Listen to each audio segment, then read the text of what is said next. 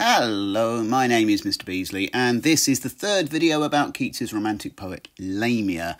So far, we've looked at the opening 46 lines of the poem, and this video will analyse lines 47 to 67.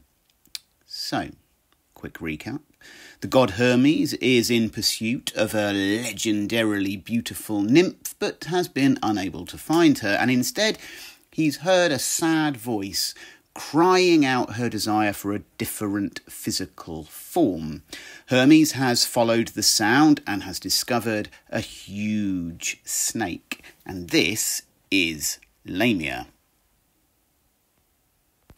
This section of poetry is a typically Keatsian set piece where the action and movement of the poem stop and Keats displays the real genius of his descriptive powers. It is a description full of rich, colourful imagery, similes, metaphors, and also contradictions, suggestive of the complexities that lie within Lamia herself. It begins with the metaphor of Lamia's shape being compared to a Gordian knot. Now, this is another piece of mythology, and be prepared for this because there's quite a bit of mythology within this particular section of poetry. But this one refers to a uh, a puzzle which is impossible to solve. But here, it's more to do with the intricate way in which her snake-like body is wound and curled up.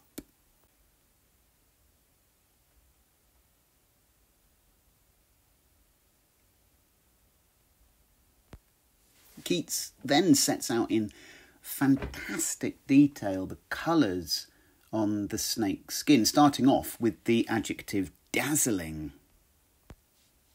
Keats then uses a series of similes to compare the patterns on Lamia's skin to other animals. She is striped like a zebra, she's freckled like a pard. Now, a pard is a leopard leopard. And she has eyes like a peacock. But perhaps the most interesting is the way she is depicted as Crimson Barred. Now, on the one hand, you can read this as simply saying that Lamia's serpentine skin has red lines on it. But remember what I said about line 38 in the previous video. There is a theme of entombment or imprisonment here, and bars are another reference to the fact that Lamia is trapped within the body of a snake and longing to get out. There is a wonderful dynamism about the presentation of Lamia's appearance. Her skin is full of silver moons, perhaps another reference to fertility and as she breathes in and out, the moons dissolve and then brighten again. This could be seen as the first of the contradictions within the description of Lamia, but if it isn't, then the words lustres and gloomier certainly are. Lustre meaning radiance or bright light, and gloomier meaning dreary or dark. This Next line includes another of these contradictions rainbow sided, touched with miseries. So, bright and beautiful on the outside, but there is also evidence of sadness. Now, the word penanced in the next line, which is line 55, is interesting because penance is the act of showing sorrow for some wrongdoing, as if Lamia has found herself trapped in the form of a snake because of some transgression committed in the past. Now, you can look these things up, but there are a lot of mythological stories surrounding Lamia, but one of the consistencies between them is that she began life as a beautiful woman who had an affair with Zeus, the king of the Olympian gods, and bore him children. Zeus's wife, Hera, was so enraged by this that she cursed Lamia, forcing her to eat her children. And Lamia became disfigured by the horror of what she had done, which is why she exists in the form of a snake. Hera further cursed Lamia by giving her permanent insomnia, the inability to sleep, so that Lamia would never have the ability to, I don't know, switch off from the horror of what she had done. In the myth, Zeus takes pity on Lamia and grants her the ability to remove her eyes, which therefore allows her to sleep. He also gives her the ability to see into the future, which is an idea that Keats develops later on in the poem.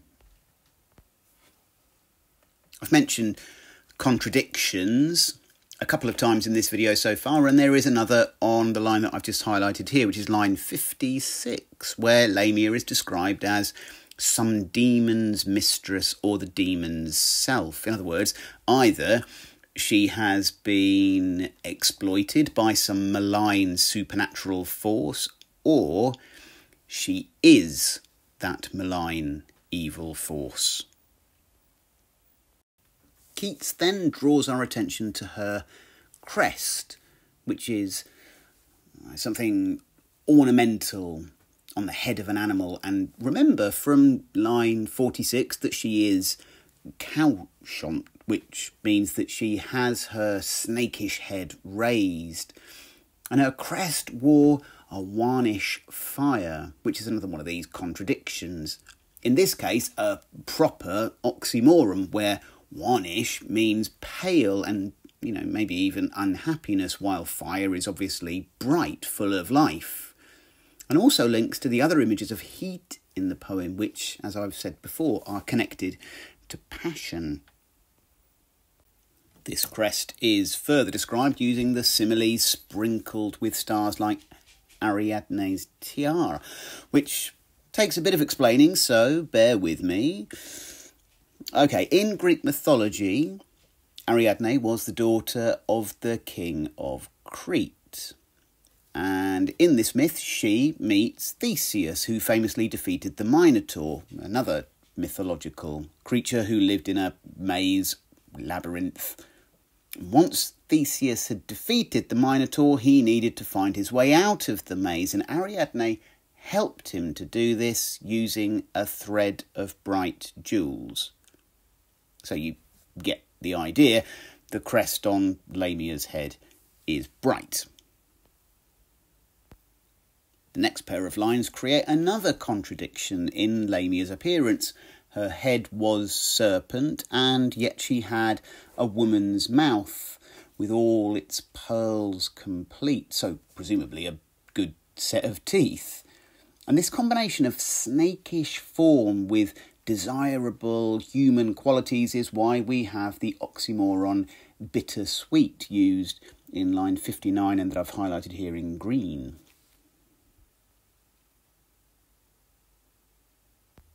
She has beautiful eyes too, although they weep and weep because of the form they currently reside in. Keats uses Another image from classical mythology here as he compares the sadness and loss that Lamia feels to the goddess Proserpine. And again, this takes a little explaining. So, as I said, Proserpine was a mythological goddess, but she was abducted by Pluto, the god of the underworld, and so she weeps, longing to return to her homeland. And this is the comparison that Keats makes, and it ties in again with the theme of imprisonment. Lamia, a beautiful woman trapped, entombed within the form of a snake.